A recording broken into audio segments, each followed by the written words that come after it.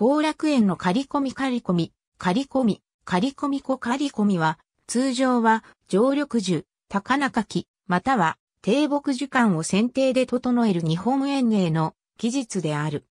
西、アスポールダエスキーロダとして翻訳されても良いが、注意深く、形を丸みを帯びた樹幹にして、自然に見せて、バージンの自然と刈り込み樹木を統合する、ヨーロッパのトピアリーに似ています。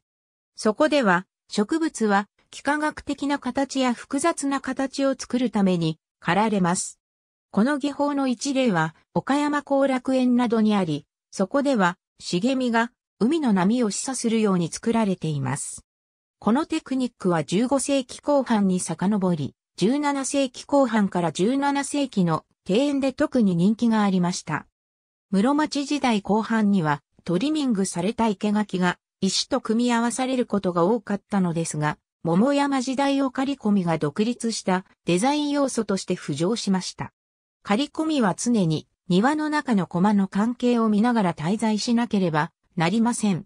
個々の作品の規模、そして全体としての構成は最も重要です。個々の好みは異なります。様々な庭園は高さと幅が異なる非公式の有機的形態を持ち、他の庭園は非常に構造化された均一な素材を持っています。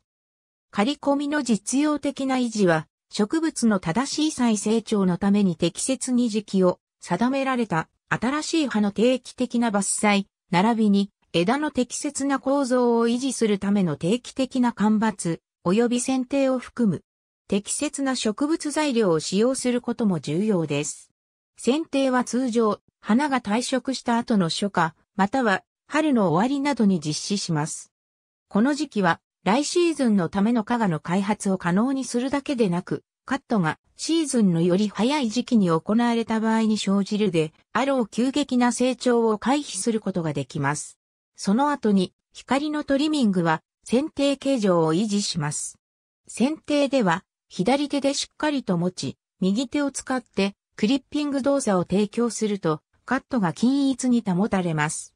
この技術が実施習得されるにつれて、適切な技術の結果として滑らかで一様な曲線が現れる。植物時間内部の枝において理想的な構造は中心から放射状に広がる鮮明な枝ぶりです。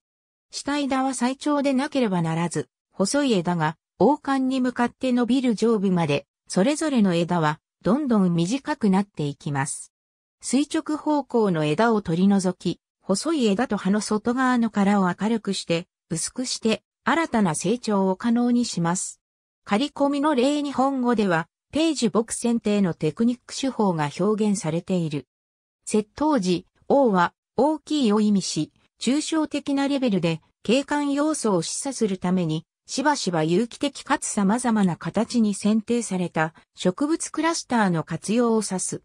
小刈り込みとは、切り取られたそして望ましい形をした植物の活用を指す。子は小さいを意味します。刈り込みの例。ありがとうございます。